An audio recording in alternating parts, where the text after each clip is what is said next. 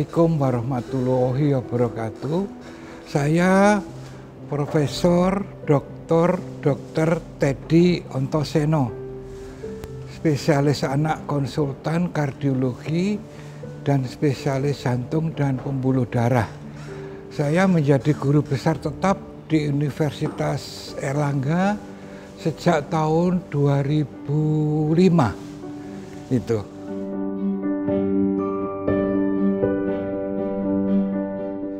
Masa kecil saya itu terus terang aja di bawah garis kemiskinan. Saya bersaudara dilahirkan 13 bersaudara dari satu ayah dan satu ibu.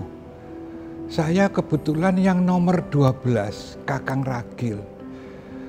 Dan ayah saya hanya seorang pegawai negeri jadi bisa dibayangkan zaman dahulu itu seorang pegawai negeri tentu ya maaf tidak ada sambilan-sambilannya. Dari gaji nyel saja untuk membiayai sekolah ke-13 anaknya. Nah, kemudian saya umur lima tahun itu sudah dimasukkan sekolah SD kelas 1 karena untuk menyingkat biaya. Padahal peraturannya di situ umur tujuh tahun. Maaf mungkin ibu saya yang anu apa nyuri umur. Tapi syukur alhamdulillah SD 6 tahun, SMP 3 tahun, SMA 3 tahun lancar dan selalu di kota Surabaya. Kemudian lulus SMA tahun 6 869. Waktu itu saya mempunyai cita-cita sebenarnya bukan seorang dokter, tapi insinyur. Bayangan saya, saya kepingin sekali kuliah di ITB atau di Institut Pertanian Bogor. Tapi saya mawas diri dengan 13 bersaudara, dengan hidup yang pas-pasan. Saya mau kuliah ke ITB Bandung atau ke pertanian Bogor. Tentu memikirkan pondokan, uang saku, buku-buku. Nah, saya jadi mikir, wah, ayah ibu saya sudah bilang, Ted, kamu kalau ingin jadi orang akan saya biayai. Tetapi kamu harus ingat kemampuan ayahmu. Saya mikir, kemudian ah ya sudah, pertimbangan saya hanya kuliah di Surabaya. Waktu itu no other choice, hanya UNER dan ITS. Dan mohon maaf waktu itu ITS zaman tahun 68, 69 itu kurikulumnya masih belum tertata rapi. Jadi ada yang 12 tahun, 15 tahun baru selesai insinyurnya. Maka tidak ada pilihan lain, saya harus di UNER. Di UNER itu pun saya sudah bersikukuh, sudah saya kedokteran saja di kedokteran gigi pun harus ada biaya. Kalau lulus harus beli peralatan yang tidak murah. Dan saya punya nurani untuk menolong orang sakit yang luar biasa. Sehingga saya bertekad untuk daftar ke Fakultas Kedokteran. Pada waktu itu yang mendaftar sekitar 4000 yang diterima cuma 100 175. Waktu itu dekannya Profesor Asmino almarhum. Kami bertekad sudah dengan hidup pas-pasan justru saya tidak pernah ngelencer pergi nonton bioskop atau ke mana. Jadi mau di mau tidak mau hanya di rumah. Karena untuk keluar rumah masih perlu sanggup, biaya. Sehingga terpaksa kami harus belajar. Belajar dan belajar terus. Syukur Alhamdulillah tahun 69 kami diterima di Fakultas Kedokteran Universitas Erlangga yang kami cintai sampai detik ini.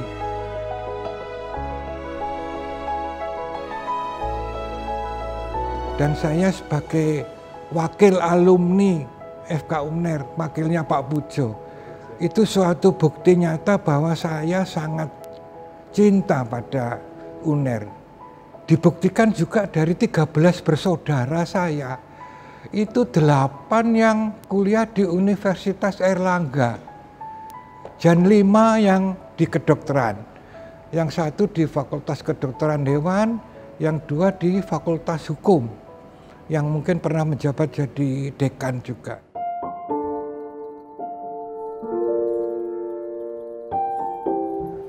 Jadi kami mulai kuliah bulan Juli kalau tidak salah tahun 69 pada waktu itu kami, saya sangat bangga sekali. Karena dari sekian ribu itu yang diterima cuma 175. Jadi saya termasuk bukan mahasiswa yang pinter, tapi yang bernasib baik, terpilih dalam tes itu ternyata lulus.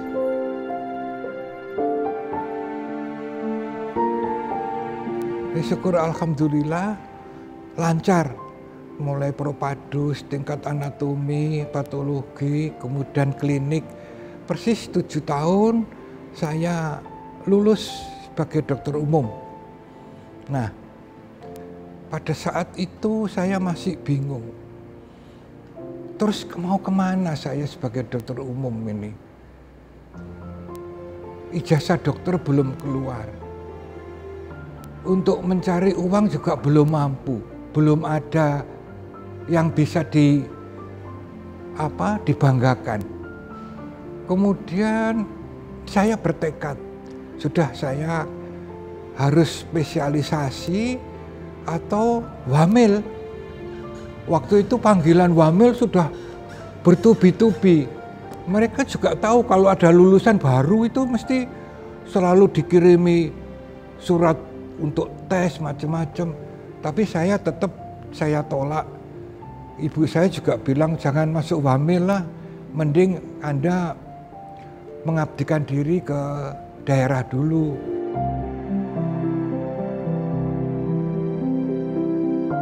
Pada saat itu yang menarik bagi, bagi saya ada tiga departemen, kardiologi, kemudian obstetri ginekologi, dan pediatri.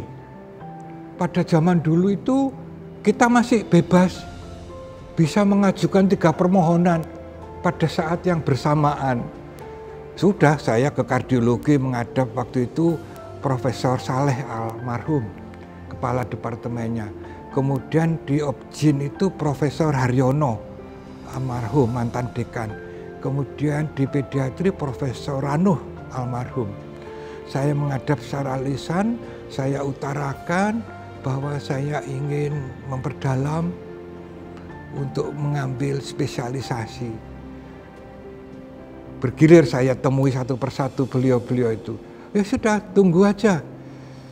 Kami akan pertimbangkan dulu posisi apa, bagaimana di divisi nanti berapa PPDS-nya, berapa terus kalau memang Anda saya lihat track recordmu memenuhi syarat, nanti kami panggil.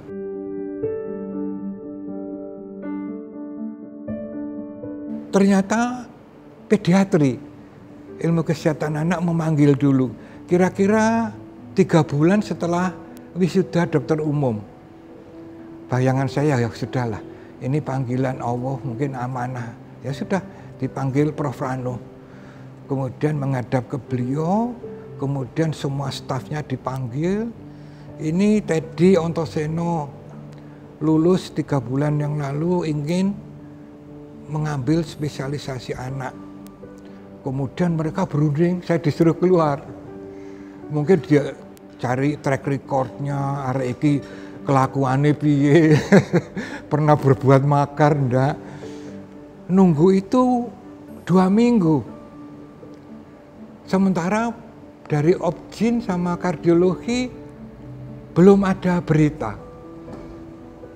Akhirnya keluar itu surat panggilan dari ilmu kesehatan anak bahwa saudara Teddy Ontoseno saya persilakan datang ke kantor kepala bagian untuk wawancara dan tes akademik gitu. Wah, sudah saya bernyali, nyali saya kecil. Saya lihat senior-senior saya itu dokter Burhan Hidayat, Dokter Dwi Atmaji, orang yang top-top di bagian pediatri. Aku masuk iso madani wong-wong itu. Wes tak tekad aja saya kira. Terus dites akademik, dites wawancara, motivasinya bagaimana. Kebetulan saya belum berkeluarga waktu itu, jadi masih jomblo. Nah, Salah satunya mungkin indah kamu masih jomblo jadi bebas. Nanti kamu saya tempatkan ke mana? Ya saya pasrah saya bilang gitu. Kemudian disuruh nunggu dua minggu dipanggil.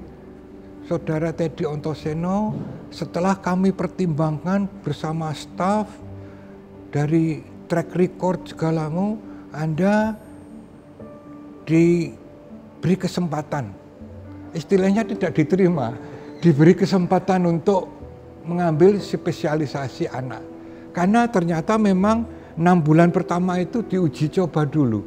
Apakah memang anak ini berbakat tidak di bagian anak. Kalau enggak ya di drop out begitu.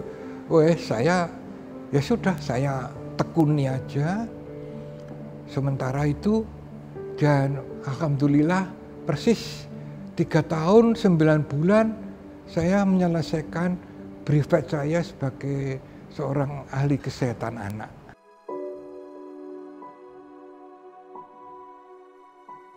Saya masih belum puas. Saya ingin ambil subspesialisasi lagi. Keinginan saya untuk memperdalam ilmu kardiologi masih belum hilang. Karena dulu saya kalau nggak diterima di pediatri akan ke kardiologi atau obgyn akhirnya saya belum sampai dua minggu privat setelah privat dua minggu belum ada kepastian ambil spesialisasi apa Prof. Subianto Purwodibroto almarhum datang ke rumah ke saya. Ted kamu mau jadi staf saya kardiologi? Saya mak dek karena saya anggap kardiologi anak itu paling sulit. Dan kebetulan ujian DM saya diuji Prof Subianto. Saya ya waktu itu saya mau masuk alergi karena sudah ditawarin sama dokter Partana almarhum. Dan kalau kamu nanti ambil spesialisasi lagi silahkan masuk alergi. Karena saya sudah tua, saya harus regenerasi gitu. Akhirnya kena jantung dulu ya sudah. Akhirnya saya masuk ke subspesialisasi kardiologi anak, Departemen Ilmu Kesehatan Anak. Saya mulai menekuni, belajar, dan termasuk single fighter karena Profesor A.M. Prasodo itu sudah sepuh, sehingga hanya duduk di meja aja. Prof. Subianto itu bimbing, ya. Jadi saya yang aktif di bidang pelayanan pendidikan dan penelitian. Tapi alhamdulillah saya diuji di Jakarta dari Kolegium Kardiologi Anak dan saya alhamdulillah saya bersyukur bisa menyelesaikan finishing saya di negeri Belanda selama dua tahun karena kesempatan itu sangat jarang sehingga saya mendapat karunia betul bahwa karir saya itu seolah-olah dituntun oleh Allah yang Maha Esa.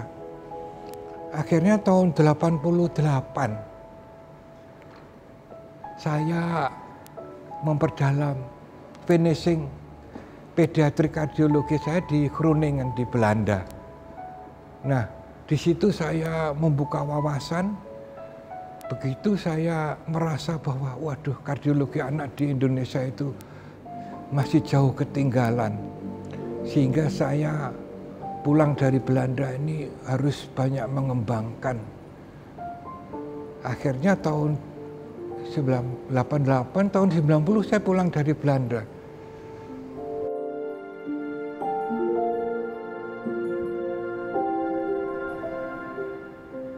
Prof Sentot, Prof Sentot Suat Maji mungkin. Saya ditawari, Ted, kamu seorang pediatrik kardiologis. Salah satu tugasmu nanti mengajar calon spesialis jantung dan pembuluh darah. Sehingga kamu harus punya brevet SPJP. Waduh, saya pikir iki dikongkon sinau mana, bayangan saya begitu. Ternyata betul, mereka sudah kontak dengan Prof. Saleh almarhum yang waktu itu kepala departemen kardiologi. Sudah kamu sekarang menghadap ke Prof. Saleh. Saya menghadap ke Prof. Saleh di kamarnya. Prof. Saleh waktu itu serem sekali beliau itu pokoknya kalau yang dipanggil-panggil itu mesti bermasalah. saya pikir masalah apa saya. Teddy sini kamu duduk.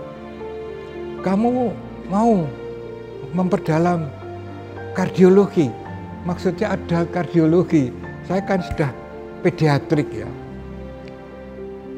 Ya mau saja Prof kalau memang saya mampu dan diberi kesempatan dan memang saya ada manfaatnya. Daripada sekolah soro-soro ambil SPJP tapi ternyata saya tidak bermanfaat.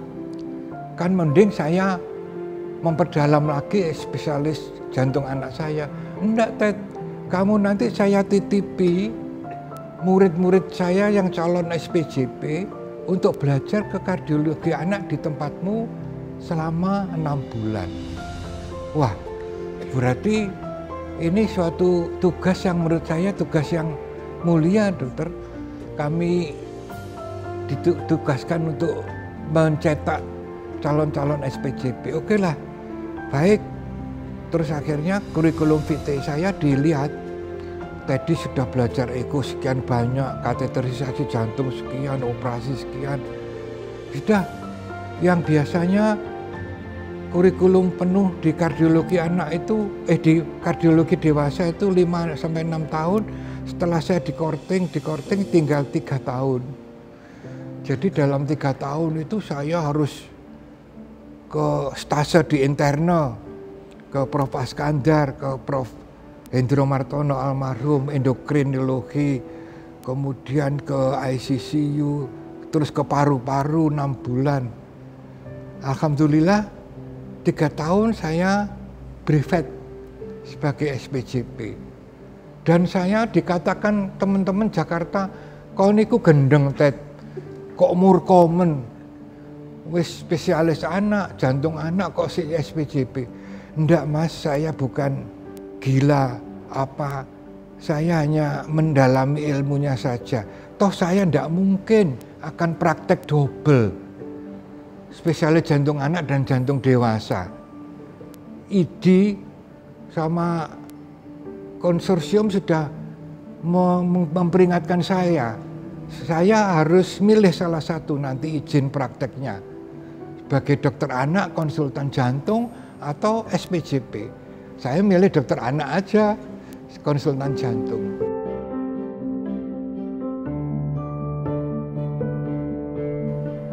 Hobi saya itu keluyuran, Dr. Hendy. ke desa-desa nilai DM-DM yang lagi stase di puskesmas-puskesmas. Saya dilihat di monitor terus sama waktu itu Prof. Biati dekannya.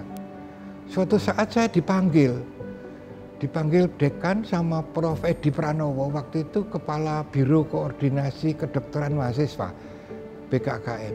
Ted kamu sini, saya lihat kamu selain di klinik kok juga seneng di lapangan. Iya Prof, saya karena sejak lulus dokter belum pernah bekerja di lapangan. Saya langsung spesialisasi ke sana kemari.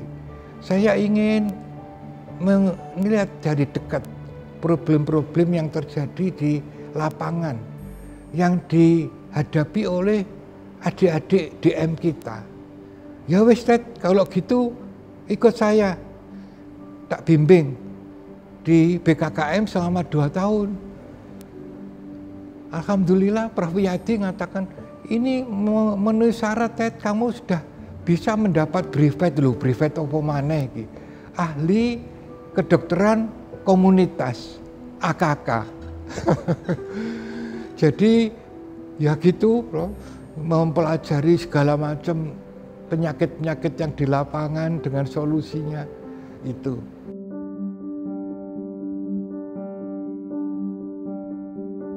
Tahun 2001 saya lagi enak-enaknya melakukan kateterisasi bayi kembar siam jantungnya. Kemudian ditelepon sama Prof. Pitono almarhum. Pada waktu itu beliau ketua bidang akademik pasca sarjana. Waduh saya dek ini. Wah ini tugas mana ini. Ternyata betul. Saya sama Prof. Pitono diberi kesempatan untuk mengambil S3 saya. Maaf lu, saya ndak mau ndak membual, ndak menyombongkan diri. Sama saya lillahi ta'ala, apa yang saya lakoni ini saya ceritakan dari lubuk hati saya. Ndak, ndak tak tambahin, ndak saya kurangi. Akhirnya saya diberi kesempatan untuk mengambil S3 saya. Memang terus terang saya tersirat. Kakak-kakak saya dulu, Ted kamu kalau ada kesempatan ambil S3. Sudah sebagai seorang pendidik, kamu ya sudah sekalian terjun ke dunia pendidikan gitu. Akhirnya saya tes potensi akademik, terus uh, mengajukan proposal untuk dicek apa memang memenuhi syarat untuk dilanjutkan sebagai disertasi akhirnya diloloskan sama tim dari pasca sarjana kemudian sudah sekalian Prof. Pitono saya ambil sebagai promotor saya dan syukur Alhamdulillah tahun 2000 2001 masuk S3 2004 lulus uh, sebagai doktor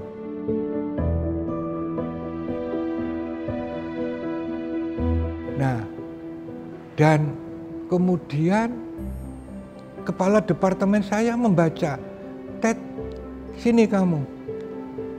Saya lihat kurikulum kumu, poin kredit poinmu sudah cukup untuk guru besar. Apalagi ketambahan disertasimu ini. Waktu itu disertasinya di dikonversi dapat poin 50 ternyata sudah memenuhi syarat untuk guru besar. Itu saya bersyukur. Mungkin itu suatu kebahagiaan saya yang harus saya balas kepada alma mater saya tercinta Universitas Erlangga. Karena saya diberi jalan yang seolah-olah lancar. Tidak ada halangan itu yang saya sampai akhir hayat saya tetap membaktikan diri untuk Erlangga.